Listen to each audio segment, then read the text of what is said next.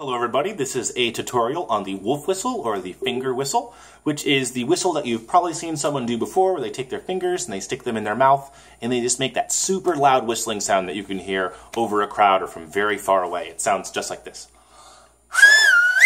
Um, that is a much, much louder sound that I'm able to produce than using the uh, sort of the puckered lips method. Uh, if you do it loud enough, you can kind of uh, make your ears ring. It's very, very loud. So if that's your goal is to make a very loud whistling sound, this is the technique that uh, I was able to find that worked best for me. So I actually learned how to do this very recently, and I took notes during the learning process uh, over like all of the little mini sort of uh, breakthroughs I had or different things that I found that uh, I was missing to be able to complete the the whistling sound. So I will share each of those little things with you. So hopefully if you're able to remember each of those and put them all together with some practice, you'll be able to produce the sound yourself. So uh, it's done in three steps. Step one is the easiest one. You just take your fingers and you make a diamond shape like this. The key is that your middle fingers contact each other. They don't have to press hard or anything. They just have to touch. And your pointer fingers touch your middle fingers. Uh, the knuckles down here, they don't really matter.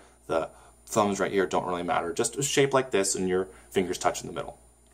Step two, what you're going to do is you're going to take your uh, fingers and use them to fold back your tongue uh, into uh, into your mouth. So it looks like this, huh, huh, huh. And you can't really see inside my mouth because my fingers block it. So uh, imagine this is my tongue.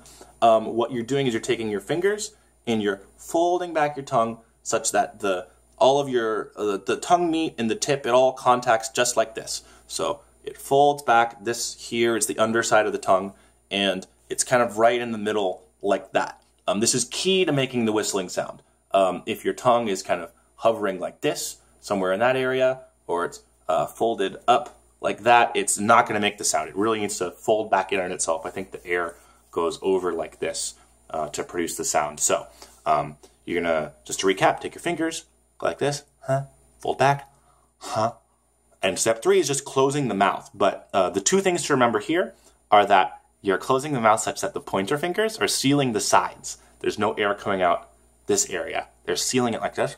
Huh? So there's only air coming out here. Uh, you might need to play around a little bit with uh, the shape of your lips uh, when you actually make the blowing sound. Uh, uh, that's kind of, I think, person by person.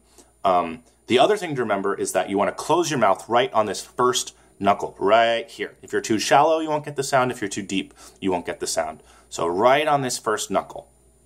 So, so that's it. So just to recap, fingers like this, tongue out, fold back, close, like that. And then you blow, um, not like you would be blowing if you're whistling normally. When, when I whistle like this, uh, I feel that it's like I'm using the air kind of in the front of my mouth. I'm not really blowing with my chest. When you do this one, when you're doing the wolf whistle, you really want to blow using your chest, kind of like a like that. And then uh, the shape that you're producing with your fingers and your tongue is what will produce the loud sound. So that's it. Um, just to give you guys a frame of reference for my own learning, um, it took me about uh, two or three minutes to even make like a faint sort of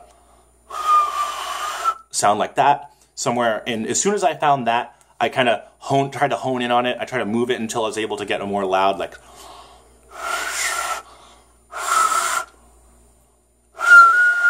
kind of like that. I just kept playing with it until it was getting louder and louder. Um, after about 20 minutes, um, I was able to produce my first real, like, triumphant blast, my first loud, loud sound, and I kind of stuck there and played with it. But of course, as soon as I took my fingers out and put them back in, I wasn't able to find it.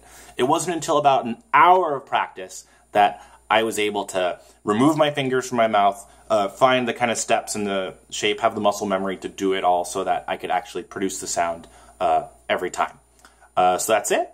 Uh, good luck learning, and see you next time.